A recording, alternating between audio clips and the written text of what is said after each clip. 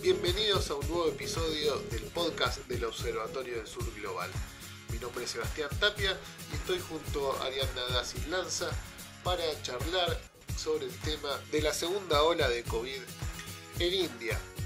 Con nosotros tenemos a Maya Alvisa Barroso, que es licenciada en estudios orientales, especialista en el este de Asia y miembro del grupo de estudio de India y Asia del Sur, en el CARI, además de profesora investigadora en varias universidades.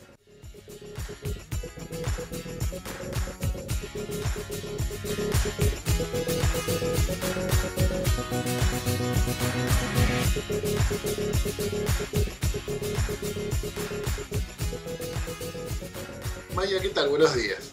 Buenos días. Contanos, ¿qué es lo que está pasando en India? ¿Cómo puede ser que en un país tan grande, en esta gran pandemia, haya tenido un 2020 relativamente bajo en casos y de pronto haya tenido una explosión tan grande, llegando a los 400.000 casos por día eh, en estos meses? Bueno, esa es una pregunta que se hace todo el mundo en la India y en el resto de la comunidad internacional también. Es interesante porque sabemos que India es una población enorme, está llegando casi a los 1.400 millones de habitantes, se habla de unos 1.370 millones en este momento, y por lo tanto, y además viven en gran, eh, hay muchas ciudades con grandes aglomeraciones de, de población, que es un elemento que puede ser muy pernicioso para cuando se da una pandemia de este tipo, que es por contagio directo entre personas. Así que cuando empezó la pandemia el año pasado se temía mucho por el caso de la India. Sin embargo, lo que se considera es que hubo un buen manejo por parte de las autoridades. Eh, el primer ministro Narendra Modi inmediatamente hizo un cerramiento, un lockdown De, la, de ciudades grandes como Nueva Delhi y se llevaron adelante varias campañas para mantener el distanciamiento social, la higiene y demás, y realmente tuvieron bastantes éxitos en el sentido de, eh, punto de vista epidemiológico. Ahora, esto trajo también, como en todos los países ha pasado, con problemas serios económicamente hablando, porque fue un parate muy grande, además, al, al analizándolo ahora con el paso del tiempo, muchos eh, analistas políticos dentro de la propia India consideran que además fue un corte muy, muy abrupto. En cuatro días cerró las ciudades y mucha gente después se quedaron que no se podían mover de un lugar a otro. Fue una situación bastante caótica la que se generó, pero se controló bastante la situación epidemiológica. Y esto llevó a que Narendra Modi, que ha sido un líder muy activo, desde el punto de vista de proyectar a India internacionalmente, que ha estado trabajando mucho, haciendo muchos viajes internacionales y buscando un poco promover el soft power o esta idea del poder blando y la influencia de la India, que tiene un enfrentamiento bastante directo en la región con China. Empezó a hablar de esta cuestión de la diplomacia de las vacunas y tratar de posicionarse mundialmente, siendo un país que es uno de los mayores productores de vacunas del mundo. Y aquí empezaron los problemas, porque muchos, muchos analistas internos en la India consideran que hubo un mal análisis de la situación. Como en el primer momento hubo la primera ola, tuvo un control bastante importante y empezaron a decaer los casos, se apuraron en considerar que habían vencido la pandemia. De hecho, se hizo el, un foro mundial en enero, el Foro Mundial Económico, que fue por virtual, pero bueno, en ese foro mundial Narendra anunció con, muy despampanantemente que habían vencido la pandemia. Después también adentro, en el interior de la India, ya para marzo, el primer ministro, el, ministro de Salud había dicho también al interior de la India que habían llegado al final de la pandemia en la India. Y toda esta situación de acelerarse a ser victorioso los llevó a dos situaciones. Por un lado, la población se confió y se relajó todas las medidas de distanciamiento, de aseo, de uso de barbijo, todo eso se relajó. A eso se le sumó que hicieron malos cálculos con la producción de vacunas. Incluso Narendra Modi llegó a decir que India iba a proveer vacunas y iba a salvar al mundo. Y hubo un mal cálculo de la producción de vacunas, porque Estados Unidos, por ejemplo, es un gran proveedor de materias primas, que con todo el desarrollo de la pandemia, una de las leyes que tiene Estados Unidos es que cerró toda la exportación de todos los insumos que tuvieran que ver con la producción de vacunas y le dejaron de llegar insumos más que no calcularon bien las cantidades y India empezó a producir menos de lo que pensaba y a exportar la mitad de lo que, de lo que estaba produciendo. Llevó entonces a que tuvieron mucha menor cantidad de vacunas para la propia población y la vacunación fue muy lenta. Entonces, todo eso llevó a que cuando llega la segunda ola se encuentra con una población que no estaba siendo cuidada, con una población que tenía un en aquel momento, a principios de, de este año, para marzo, creo que era nada más que un 2%. Ahora han acelerado solo tienen un 3% de la población vacunada, que es un nivel bajísimo para poblaciones que tienen ese nivel de densidad de población y que viven tan hacinados. Además, no hicieron una buena administración de la producción de medicamentos para también paliar al COVID y a los que estaban enfermos. Es decir, que fue desastrosa, se considera, el manejo que ha habido en la segunda ola, porque se, no se previeron las condiciones. Incluso en la primera hora se habían establecido varios hospitales de emergencia y cuando llegaron a diciembre todo eso se cerró y en marzo ha habido que empezar a abrir todo de vuelta. India ha tenido que empezar a recibir ayuda internacional, ha tenido que eh, hace un mes prohibir la exportación de vacunas y con la que ellos producen, que es la AstraZeneca producida en India, más una, un, modelo de vacuna que es propio de la India, han tenido que sumarle la importación de las Sputnik B. Eh, la Unión eh, Rusia ha ayudado mucho, ha mandado como 200.000 dosis de vacuna y están entonces ahora empezando a hacer esta campaña. Así todos dicen que la campaña ha sido deficiente, porque por ejemplo inmediatamente abrieron a que todas las personas de más de 18 años se pudieran vacunar, lo que hizo que no han podido vacunar primero a los sectores más necesitados, en fin, que el manejo no ha sido bueno. Y a eso también es importante decir que se sumó que el primer ministro, Narendra Modi, y varios de sus líderes del partido gobernante, el Bharata Janata Party, BJP como se lo conoce, estaban llevando adelante campañas políticas porque están en elecciones distritales y municipales y demás, y hicieron en las cinco ciudades más, populosas de la India tremendas campañas políticas con tremenda cantidad de aglomeración de personas sin barbijo, ni el primer ministro, ni los políticos, ni la población.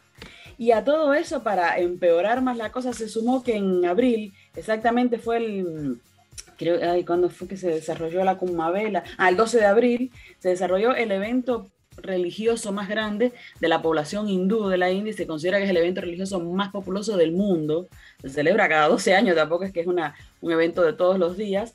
Y Narendra Modi apoyó a que se celebrara. Son miles y miles de fieles, en realidad se habla de millones de devotos que se mueven a esta ciudad de la India eh, para ir a, a Hariputvar y van a la orilla del río Ganges y se meten todos para lavar los pecados, para mejorar las condiciones para no tener la reencarnación, en fin, toda una cuestión religiosa muy interesante, pero que son enormes aglomeraciones de personas. Me parece ser que entre eso y las campañas electorales se hizo el gran brote de esta segunda ola, donde además el primer ministro entonces casi al principio no salía a hablar, no, se daba, no daban respuestas, lo que plantean muchos, muchas de las autoridades eh, que uno ha podido entrevistar y que hemos visto artículos escritos por ellos dentro de la propia India, eh, de las autoridades sanitarias es que hubo una mucha mm, confianza de los políticos en lo que India podía hacer y no se siguió el consejo de las autoridades sanitarias, se subvaloró el peligro, y todos esos malos manejos han llevado a este enorme peligro que ahora implica India para el mundo, además, porque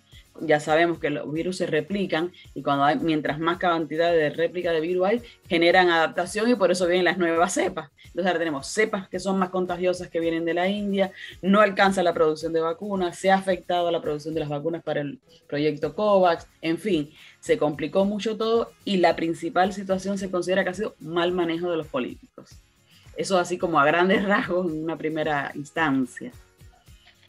Maya, yo quería consultarte por el tema justamente de, bueno, vos describís el contexto específico de, la pandemia y cuáles fueron, digamos, la actitud del primer ministro y demás, pero también quería, eh, si podés hacernos, contextualizarnos un poco las distintas manifestaciones que hubo un hito en 2016, después en 2019, este año vimos protestas por el lado de de la reforma eh, agraria y que hubo movilizaciones al principio de año. Eh, digamos, ¿cuáles son, de qué características tienen estas movilizaciones o fueron distintas eh, a lo largo de estos años en estos tres periodos que te, que te nombraba? Tenés razón, porque eso también empeoró la situación del COVID. el ministro, el gobierno lanzó una reforma agraria que la población, que los sectores agrarios consideraron que son beneficiosas para un sector minoritario, dueño de la producción y no para las grandes mayorías, y se hicieron unas enormes, eh, desde noviembre empezaron estas manifestaciones, desde finales del año pasado, unas enormes manifestaciones de la población agraria, de la que, que, se agolparon, hicieron grandes sentadas a las entradas de Delhi y estas aglomeraciones también influyeron en, el, en el, la expansión del virus, pero además han sido elementos que han sido han llevado una conflictividad dentro del gobierno. Sin embargo, es interesante porque varios analistas políticos de la India consideran que algunos conflictos que ha tenido la India, los últimos más complicados, como ese, por ejemplo, a, la política interna, este, esta reacción ante las medidas de la reforma agraria. El año pasado también hubo unas medidas eh, anti minorías islámicas que fueron que, llevaron a muchos movimientos sociales también, sobre todo en las ciudades que tienen mayorías musulmanas no habían mellado de todas maneras la imagen, a, modo general, la imagen de Modi. Modi es una, un líder que se considera que es muy carismático, que tiene una historia personal que le ha dado mucho respaldo a nivel social, porque viene de sectores medios bajos y tiene una presencia muy, muy fuerte en las redes y que ha sabido manejar esas crisis, incluso hace, a principios también de, de, su mandato había hecho una, en el 16, 2016 creo que fue, una reforma muy importante monetaria.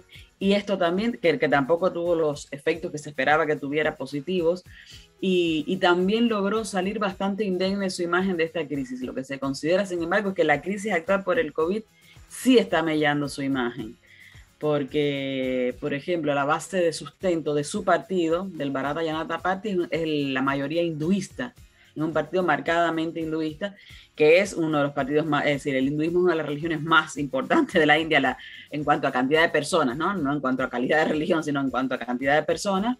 El hinduismo y el islam están en la cabeza de las mayorías religiosas de la India, pero eh, en el primer mandato de Modi eh, había sido más moderado, porque una de las cuestiones que se temía es que pudiera él beneficiar solo al sector hindú. Sin embargo, en este segundo mandato, después de su reelección, está siendo más presionado por su partido a llevar adelante acciones que eh, favorecen al sector hinduista. Por ejemplo, que se haya celebrado la Kumbh Mela tuvo que ver con las presiones por, ese, por, por su partido. Entonces, el partido Bharata Janata Party ha, ha hecho una presión para promover estas cuestiones del hinduismo que han tenido un efecto negativo en la pandemia y ahora lo que dicen algunos analistas adentro de la propia India es que ahora sí empiezan a ver que su imagen se está resquebrajando. Así todo faltan tres años para las elecciones y consideran que ha tenido una capacidad de reinventarse muy importante Modi como líder carismático y esto podría llegar a, subsanarse, pero hay situaciones internas complicadas que han llevado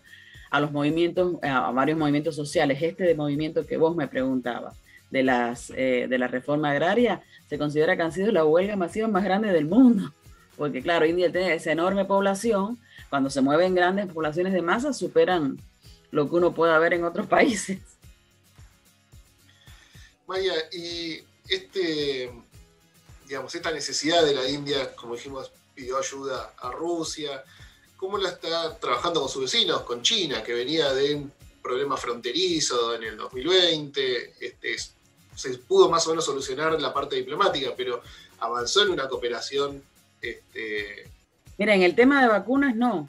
En el tema de vacunas no, porque el, el tema fronterizo es una, una de las circunstancias digamos que lo más importante con respecto a China es la, confrontación que tienen por la hegemonía en la región, en toda la región del Índico y en definitiva por, la, por el papel de ambas dos potencias, que son las dos grandes potencias emergentes en este momento en el mundo y las dos potencias más pobladas del mundo y tienen un gran enfrentamiento estratégico y logístico en la región. Entonces, en esta, cuando se inicia toda esta situación de la pandemia, eh, la postura de India fue tratar de imponerse en esta, lo que se ha dado en llamar la diplomacia de las vacunas y pasar por, por encima de China, que se había ya empezado a convertir en uno de los grandes exportadores de vacunas a nivel mundial.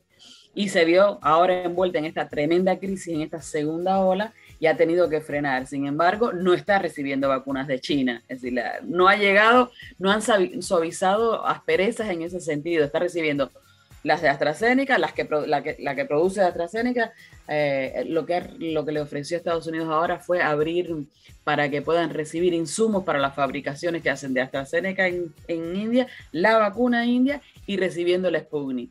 Pero no está recibiendo las vacunas de China. Incluso hace muy poco se dio un incidente incómodo con una imágenes, un tuiteo muy desagradable que se hizo desde el lado de China, comparando eh, dos situaciones de éxito en China y fracaso por la pandemia en India, que fue la verdad que bastante desagradable, después fue borrada de las redes, es decir, sigue dándose un enfrentamiento, no hay una cordialidad, obviamente que eh, la situación está siendo tan grave que en cualquier momento podríamos ver casos de, de ayuda sobre todo ante la pandemia, porque, por ejemplo, el gran enemigo, digamos, la, la, gran situación más conflictiva que tiene India es con Pakistán, y Pakistán se ha ofrecido a colaborar con el envío de insumos para los médicos, para la protección médica, con, con ayuda médica y con ayuda para envío de respiradores. Varios países del mundo están mandando ayuda y no dudo que, ayuda, que China también lo haga. Pero con respecto a las vacunas, no tengo información de que ya estén recibiendo vacunas chinas.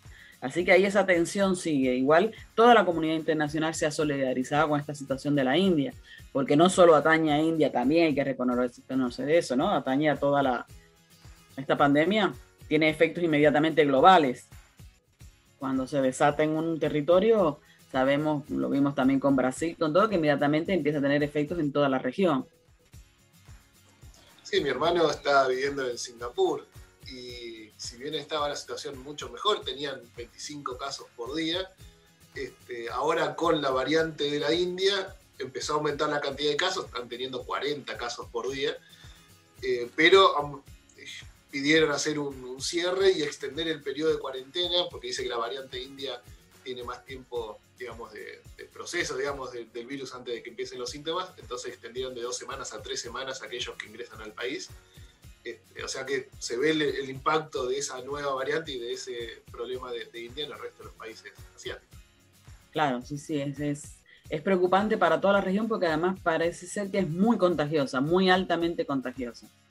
Tiene más rápido la capacidad de, diseminarse esta variante. Así que sí, eh, varios países de Asia que, tenían muy buen manejo de la crisis, pero que no habían avanzado mucho en la vacunación, ahora están teniendo que cerrar otra vez porque está llegando esta variante. Así que también están empezando a tener que acelerar el proceso de vacunación. Estoy refiriendo a países del sudeste asiático, a Taiwán mismo.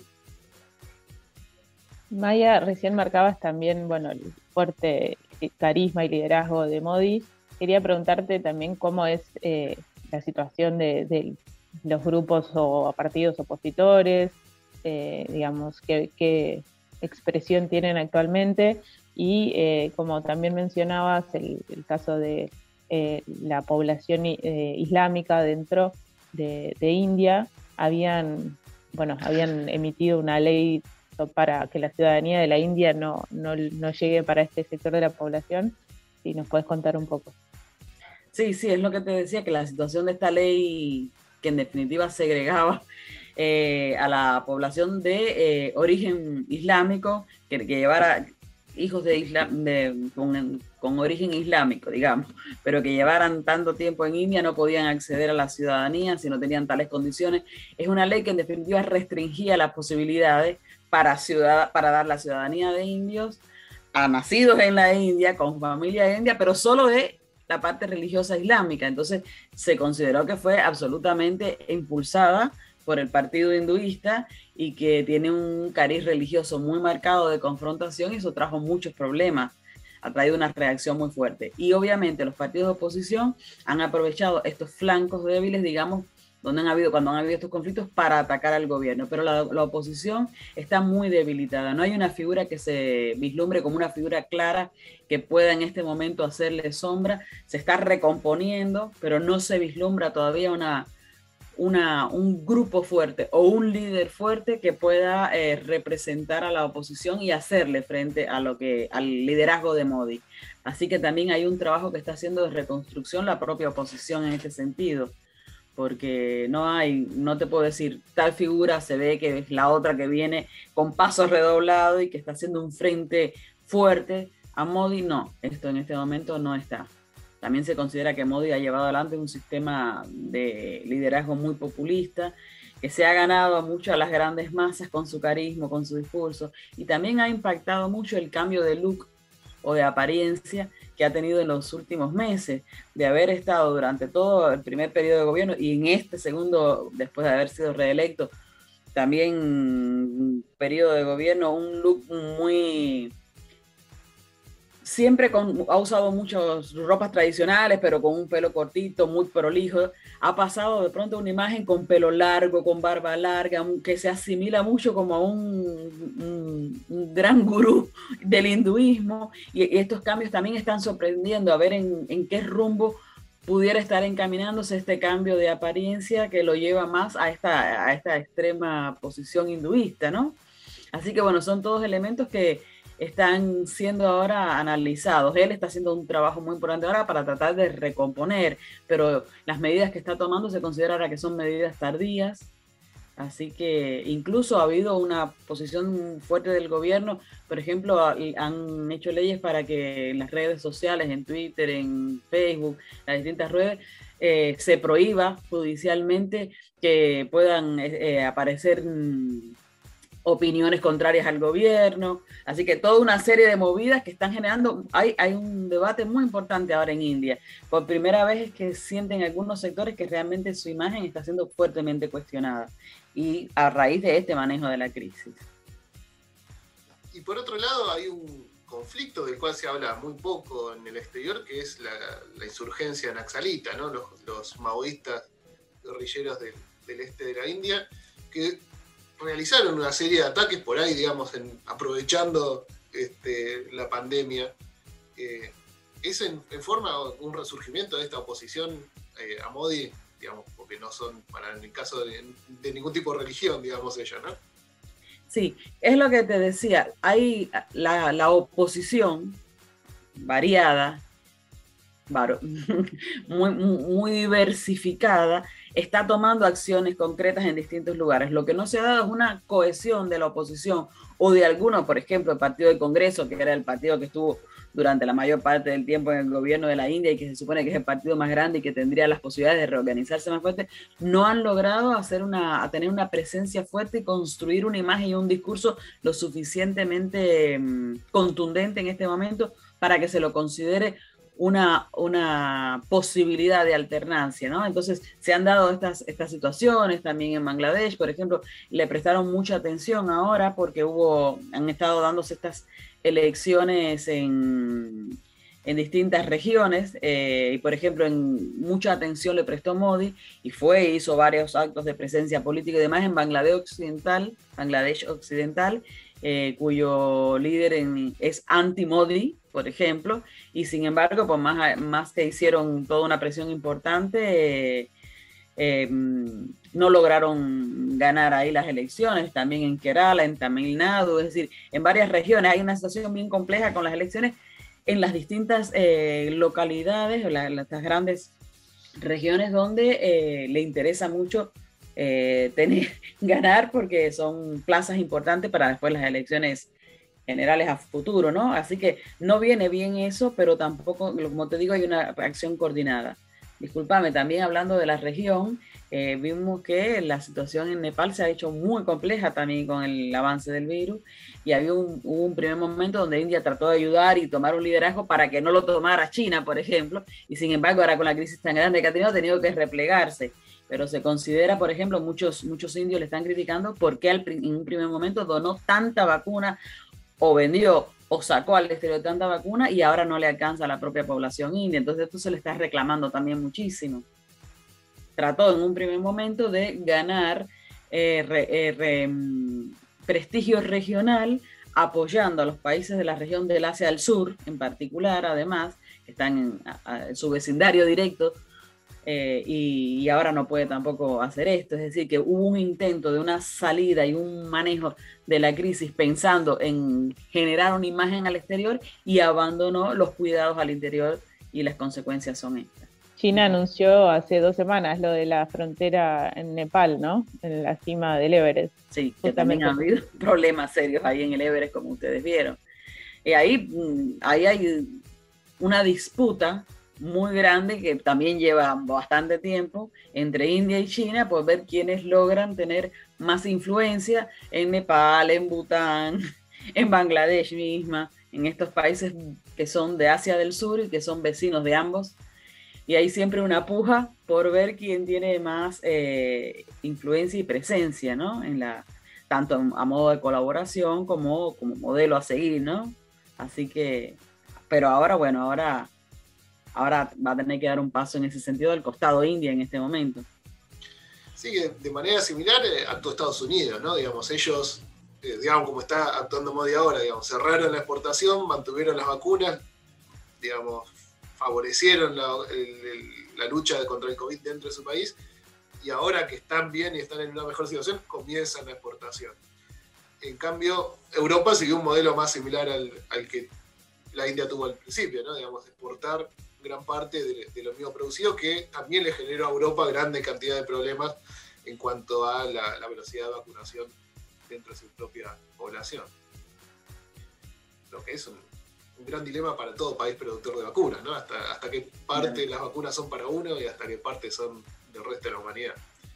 Sí, eso también ha pasado por eso eh, Rusia que todavía le falta una porción muy importante de su población por vacunar y todavía tiene altos números de infección y de... Pero bueno, también en Rusia se ha dado el caso, que ahora se está dando en Estados Unidos, que hay parte de la población que ha elegido no vacunarse. Pero bueno, han logrado evidentemente un equilibrio mayor entre lo que han exportado y lo que han guardado para la propia población, que fue lo que en lo que falló parece muy grandemente India. La el nivel de vacunación fue muy bajo y muy lento y además calcularon mal y lo que reservaron para India no alcanzó para nada. Y lo que plantean las autoridades de salud es porque se siguieron eh, los intereses políticos sin tener en cuenta el consenso de, la, de los técnicos en salud y en epidemiología. Vaya, quería. Perdón, te iba a tener una idea, pero decime. Adelante. Adelante. No, que ellos habían ellos tienen, como todos los países, conformaron un equipo de trabajo entre el gobierno, epidemiólogos, médicos y demás que se reunían mensualmente. Y cuando empezó este año se dejaron de reunir y estuvieron como tres meses sin reunirse. todo eso ha sido eh, parte del resultado que ha habido. Yo quería preguntarte algo quizás más coyuntural que, tiene que ver con el ciclón eh, Tautade, no sé si se, puede, se pronuncia así, pero que fue muy fuerte y que afectó a grandes eh, sectores de la población india. Sí, sí, fue, fue muy fuerte. Igual India tiene una, una tradición de manejo de este tipo de crisis porque India es afectada normalmente todos los años por, por los, grandes tempestades que generan los, eh, los monzones, digo, eh, perdón, ay, se me fue el nombre del accidente climatológico monzones, ¿no? Sí. Los grandes ciclones, sí, pero que vienen por estos vientos que son típicos del sur de Asia, ¿no? Y que afectan de una manera muy importante, es decir, que esto no es una singularidad de este momento, obviamente que fue muy fuerte y que ha tenido tremendo impacto, pero esto suele pasar en India, eh, las grandes inundaciones producto de los ciclones. Así que sí, pero es una cosa que ahora en este momento de crisis se sumó porque trajo muchísimos muertos, una destrucción, implica una, gestión ahora también de recursos para subsanar esa situación que complica toda la, situación económica. Bien, Maya, ¿y qué, qué futuro le queda a Modi acá en adelante? ¿Cómo lo ves este, el resto de su, de su mandato? Por un lado, en cuanto a dominar la pandemia y de otro lado, en cuanto a sus alianzas internacionales, ¿no? Digamos, está jugando por un lado muy cercano a Estados Unidos, a eh, Australia y a Japón, ¿no? En ese quad para contener a China. Eh, pero por otro lado sigue siendo parte de los BRICS y, de RIC, ¿no? Con Rusia, India y China por otro lado. Entonces, ¿para dónde Y de la OCS, de la Organización de Cooperación de Shanghai también. Es decir, todavía es miembro de varias, eh, es, todavía no, es miembro de varios organizaciones y tratados regionales en los que sigue teniendo un peso importante porque India es un peso importante, pero también se ha sumado ahora alguna de estas que son para contener a China como el Quad.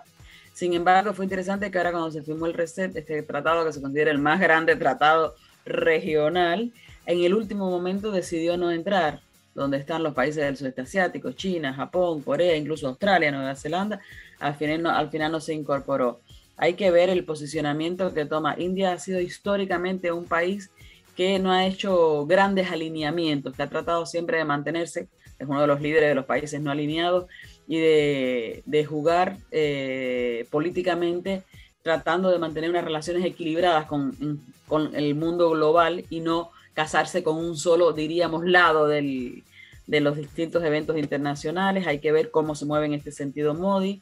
Decíamos que se estaba radicalizando mucho su actitud, evidentemente, porque su partido se lo está exigiendo a Modi y llevando una postura mucho más confrontativa con China, cosa que, eh, mi opinión personal, creo que no es estratégico ni para China ni para India de ninguna manera que se profundice este enfrentamiento, tienen que de alguna manera encontrar una, un tipo de concordancia para mm, lograr una estabilidad regional, eso sería muy importante y pareciera ser que no es en lo que está pensando en este momento Modi, son cosas que en, lo que es en la política regional es peligroso, porque además desestabiliza a todos los países de la región. Así que habría que ver si a partir de, esta crisis, que por primera vez creo que Modi está sintiendo, lo está sintiendo en las redes sociales y demás, que hay una, un resquebrajamiento de su liderazgo, si va a tratar de reconstruir unificando un poco su imagen, no solo dentro de su partido y de la, del hinduismo, sino volviendo a, a, incorporar a toda la enorme variedad que implica India y a armonizar con la región de una manera más plural porque el alineamiento con un solo bloque no ha sido nunca su característica y puede ser muy peligroso, muy peligroso para India en este momento. India tiene mucha potencialidad, pero todavía tiene un desarrollo económico que aunque ha crecido mucho desde los años 90 para acá, cuando inició toda su transformación económica y ha sostenido un crecimiento más o menos de un 6% anual, que es muy importante su crecimiento. Ahora mismo se pronosticaba un crecimiento mucho mayor y ya se sabe que con esta crisis enorme vuelve a irse a pique este año, que se pensaba que se iban a recuperar. Así que en esta situación delicada económicamente, sería muy importante que eh, revean esa política regional y creo que Modi va a hacer también una revisión de, de su liderazgo, porque lo ha hecho cada vez que se ha enfrentado a alguna de estas crisis importantes y hasta ahora viene resolviendo con bastante solvencia las crisis internas. Así que veremos, es un momento de expectativa, porque están exactamente en el medio de una crisis. Vamos a ver cómo la resuelven.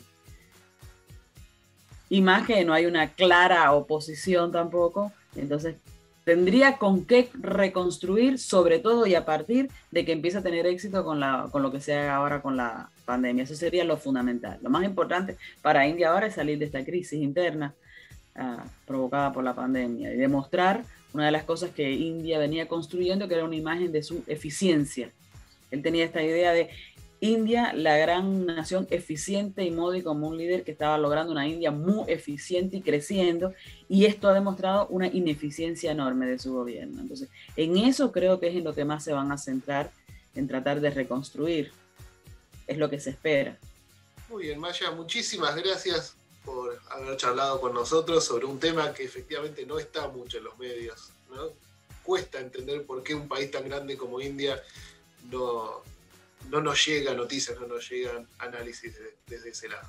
Como que no hay más, que además es una de las grandes potencias que se viene y que está transformando la economía mundial y con una capacidad muy enorme que tiene por tener una, la mayor parte de su población es una población joven, con mucho potencial y además teniendo, por ejemplo, a diferencia de China, el manejo del inglés, que es una cosa que le da mucha facilidad para el trabajo con el resto de los países de la comunidad internacional, y tiene varias ventajas comparativas que bien explotadas eh, India es evidentemente la otra gran potencia del siglo XXI eh, y hay que tener un, análisis y un cuidado y un seguimiento de, eh, India y, además poder, desde América Latina, deberíamos poder valorar el relacionamiento con América Latina, las potencialidades de un intercambio mucho más intensivo económico, científico y tecnológico, porque es impresionante los avances que tiene y sería muy importante para la región de nuestros países de América Latina revalorizar las relaciones con India. Muy bien. Muchas gracias, Maya. Hasta luego. Bueno, hasta luego.